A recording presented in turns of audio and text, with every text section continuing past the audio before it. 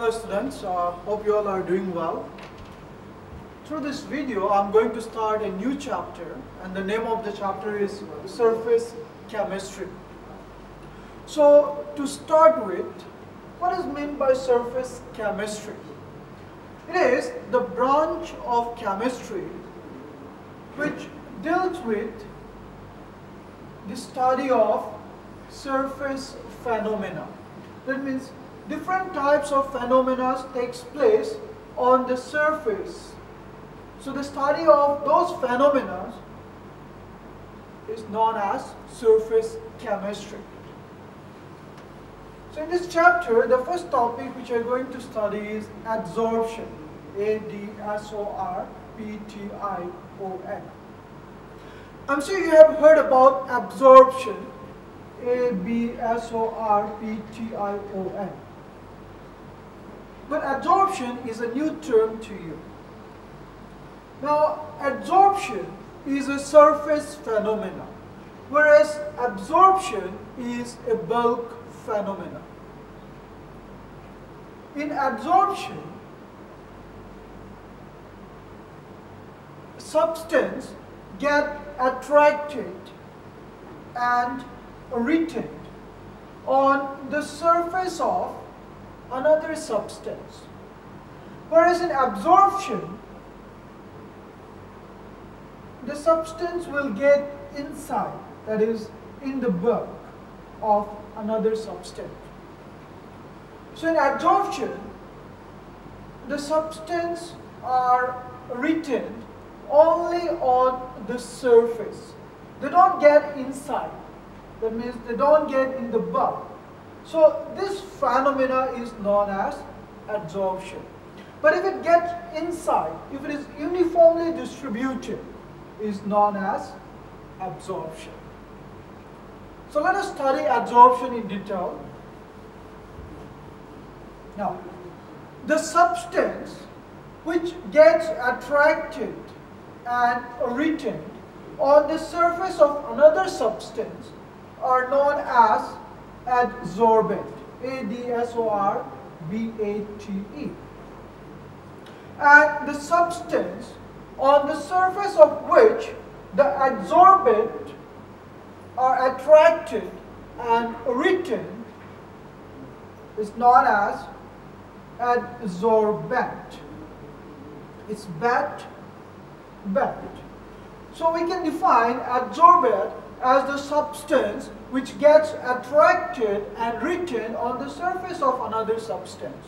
Whereas adsorbate can be defined as the substance which attracts and retains the surface on the surface the molecules of adsorbent. Next term is desorption.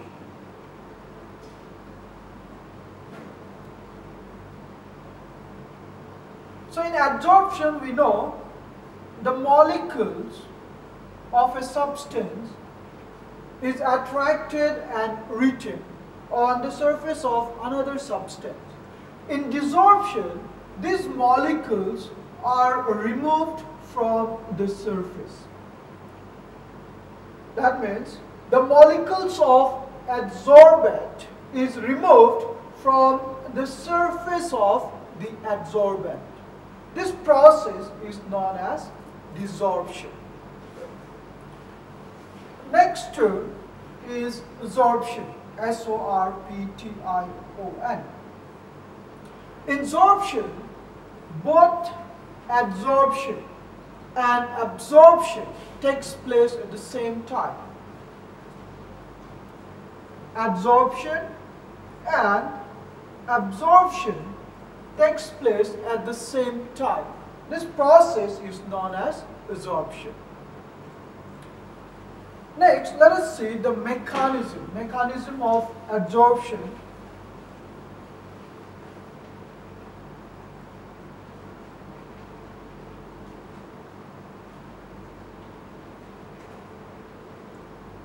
The adsorption takes place due to unbalanced attractive force at the surface of adsorbent.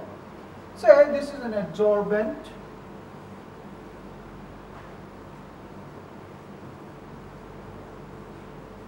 So these are the molecules of adsorbent.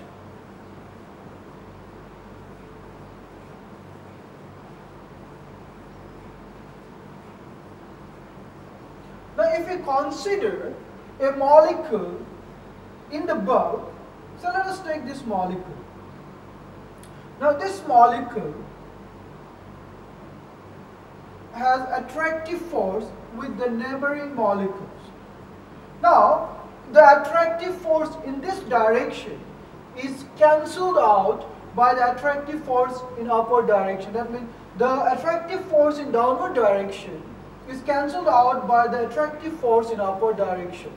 The attractive force in right hand side direction is cancelled out by the attractive force in left hand side direction.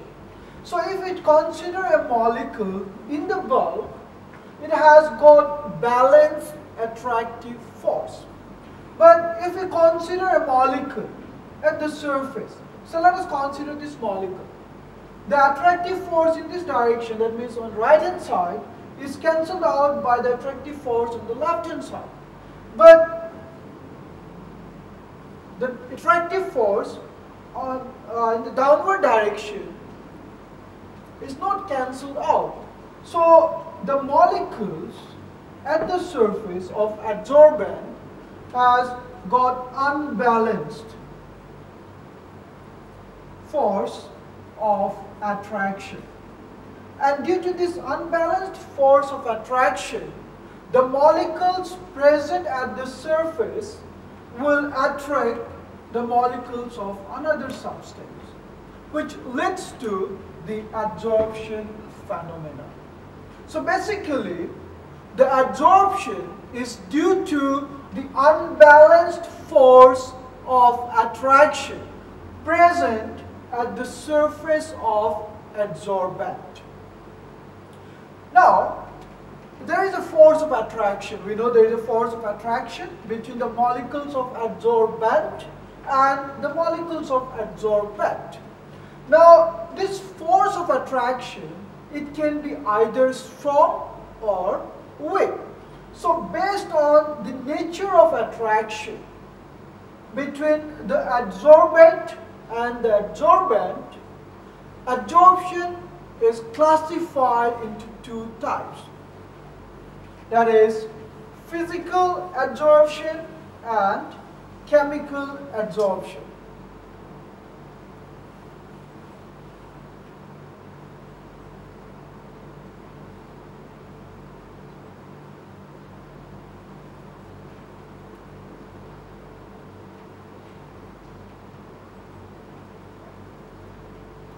Now, in physical adsorption, we have weak van der Waals force.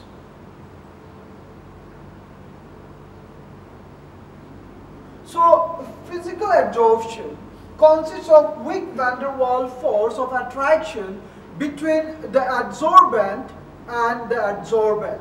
That means, if you consider this as adsorbent and this is adsorbent, the force of attraction between these two substances is weak van der Waals force. If, if the force of attraction is strong, like chemical bond force, then the adsorption is known as chemical adsorption. So in chemical adsorption, we have strong chemical bond force. Now, physical adsorption is also known as physisorption, whereas chemical adsorption is also known as chemisorption. Now, there more differences between physical and chemical adsorption.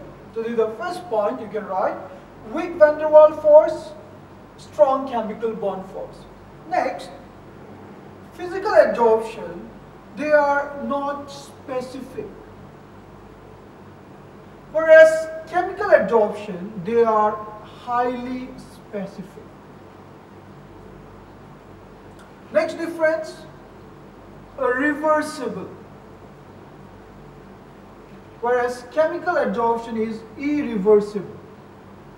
Reversible Say this is adsorbent, this is adsorbent, adsorption, desorption, adsorption, desorption. So the phenomena is reversible. But in case of chemical adsorption, it is irreversible. Third, uh, the fourth point, they have low enthalpy. Physical adsorption, they have low enthalpy in the range of 20 to 40 kilojoule per mole.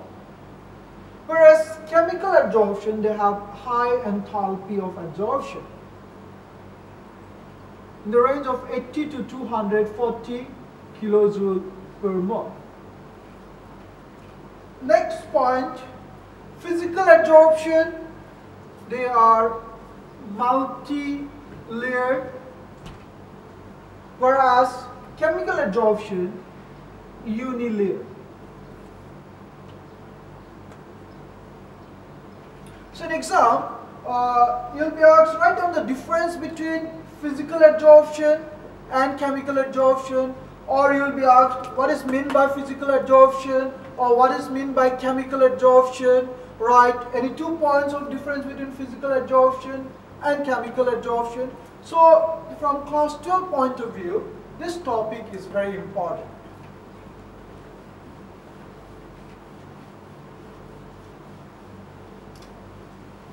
next we'll study the different factors affecting adsorption. Factors affecting adsorption. So the first factor is nature of adsorbent. Now when it comes to nature of adsorbent, especially when we consider the adsorption of gaseous molecule on the solid surface, we check the liquefiable property. Liquefiable property means the gases which are easily converted to liquid form are good adsorbent. Say if we consider a solid surface, carbon dioxide, ammonia. So ammonia is a better adsorbent. That means the adsorption phenomena will be better here when ammonia is adsorbed on a solid surface compared to carbon dioxide on a solid surface. So in simple word we can say the gases which are easily liquefiable shows better tendency for adsorption. Next factor is temperature. We know adsorption is an exothermic process. Exothermic process means during the adsorption heat is given out. So since it's an exothermic process, increase in temperature will reduce the tendency for adsorption. That means adsorption decreases with the increase in temperature. Next factor is surface area. Surface area of adsorbent. Now if we consider two solid substance, now if we look at these two substances, this is A and this is B, now you can see B has got higher surface area. The surface area of B is more than A. So B will have a better tendency for adsorption compared to A. So we can say as the surface area of adsorbent increases, the adsorption tendency also increases. Next factor is pressure. So with the increase in pressure, adsorption also increases. Next is activation. activation of adsorbent. Now, in activation of adsorbent, there are two types of methods. One, by making the surface rough. Say, this is adsorbent. So if the surface, if the surface of the adsorbent is rough, it will have better tendency for adsorption. So we can activate the adsorbent by increasing the rough nature of the surface in adsorbent. Or what we can do, we can remove, we can remove the adsorbed gases. Naturally, when we take an adsorbent, there are already different types of gases adsorbed on the surface of adsorbent. So we can increase the tendency of adsorption by removing the gases which are already adsorbed on the surface of adsorbent. That we can do by strong heating. So if you heat strongly, the molecules, the gaseous molecules which are already present on the surface will be removed and there will be more space for the adsorbent molecule to occupy. So we can say when the activation of the adsorbent is increased, adsorption also increases. So these are the factors uh, which affect adsorption. So in exam you might be asked like uh, write down three factors which affect adsorption or say how nature of adsorbent affects adsorption or write down any two factors or explain the different factors affecting adsorption. So this is also an important uh, topic from class 12 exam point of view. Next, uh, we'll study an important topic that is Freundlich adsorption isotherm. So we'll study this topic in the next video. So thank you.